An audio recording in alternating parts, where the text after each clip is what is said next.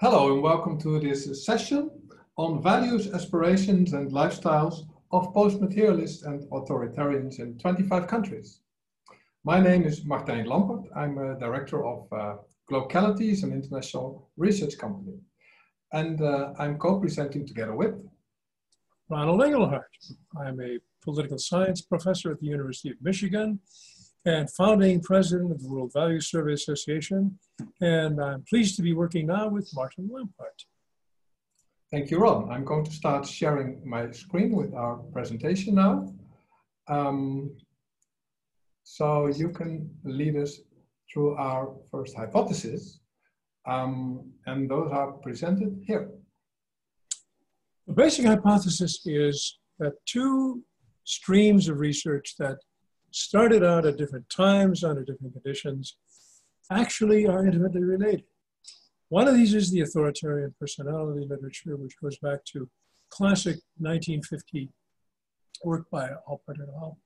The authoritarian personality, which is based on Freudian uh, theoretical basis and a now obsolete measuring system, but the theory was basically sound. That is, the basic concept was that they were trying to trace the origins of what led to the uh, emergence of authoritarianism, fascism in the 1930s. And my interpretation is that this reflected not so much Freudian child-rearing uh, forces as fundamental insecurity, desperate fear of starvation, which was widespread in the Germany in the 1930s and in the world at large. And that this phenomenon reflects survival insecurity. Conversely, when I started doing research on post-materialism in the 1970s, it was an effort to understand how the unparalleled security of the post-war era had led to a new generation that took survival for granted and that viewed survival as secure, therefore they could move on to some of the other many goals that humans have. And they emphasized there was an anti-war movement, but there was gender equality quite prominent, environmental protection, uh, tolerance of handicap, gays, lesbians, a much more open worldview linked with the fact that people took survival for granted. Logically, the two should be opposite poles of the same dimension. So Martin and I tested this out in 25 diverse countries and found that indeed they are opposite poles using the a class, a revised version of the authoritarian as a measure, and my 12 item post materialist materialist values index, we found, we hypothesized that they would be, this would hold true across countries because survival is a concern everywhere.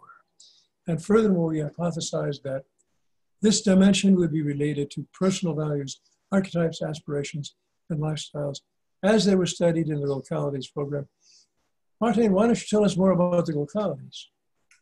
Sure. So we're specialized already for more than two decades in conducting a values-based research uh, internationally, departing from a holistic view of, of on people, uh, that, that, that their uh, values, their lifestyles are interrelated and can they be interpreted in a larger context. And for that, we conduct since 2014 uh, annual waves of, of international research. And actually in our latest wave in 25 countries listed here, we added uh, in cooperation with Professor Inglehart, his post-materialism battery, but also the Altemeyer authoritarianism items um, to test the hypothesis that Inglehart just uh, described. And here is what we found. Uh, we found, this is in the pooled data set of 25 countries, that there is a single strong dimension with, on the one hand, uh, statements such as this country really needs more law and order and not more civil rights, and on the other uh, end of the spectrum, homosexuals and feminists should be praised for being brave enough to defy family values, uh, traditional family values. And we also see that the materialist, post-materialist values of uh, Inglehart always have a strong anti-authoritarian loading in this dimension. And this goes uh, for each single country as well. Furthermore, if we zoom out and take uh, a look at the broader context, this uh, dimension is also part of the cross-cultural super dimension that was um, described earlier in uh, book, um, Cultural Evolution, um, where people from, uh, scholars from various disciplines and, and, and the theoretical backgrounds um, all come to the same dimension. And you see that with Schwartz, Hofstede, Inglehart, and also the, our uh, control freedom dimension in the Glocalities program. So what did we do? We cut up the um, authoritarianism, post-materialist dimension in 10 equal parts. And on the left-hand side here, on the horizontal axis, you find people who are in the top end of the authoritarian axis. And on the right-hand side, you find the post-materialist. And then you find social values of the Glocalities research program, such as the father should be the head of the household. Of course, post-materialists are the most opposed to this. I'm proud of the flag of the country.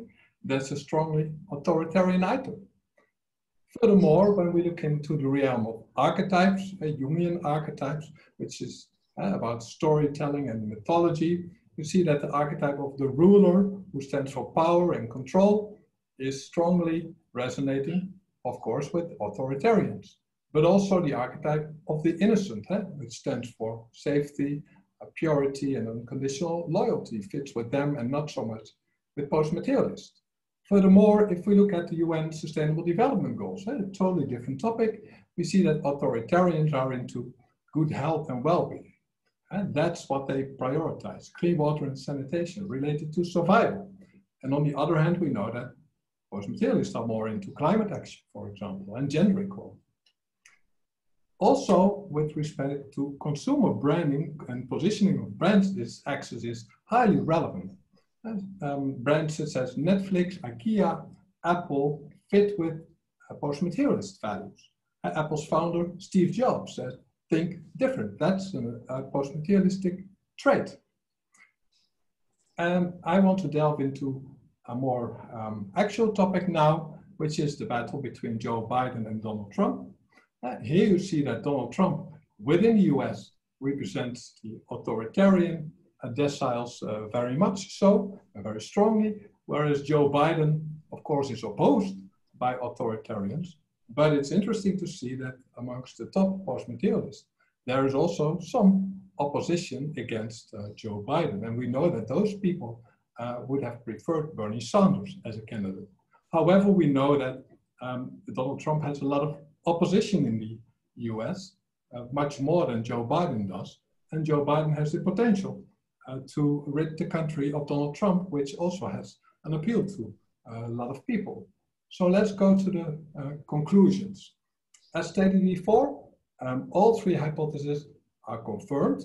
The authoritarian post-materialist uh, dimension is related to the superdimension and to a lot of values and archetypes and can be seen in a holistic fashion. Ron, up to you.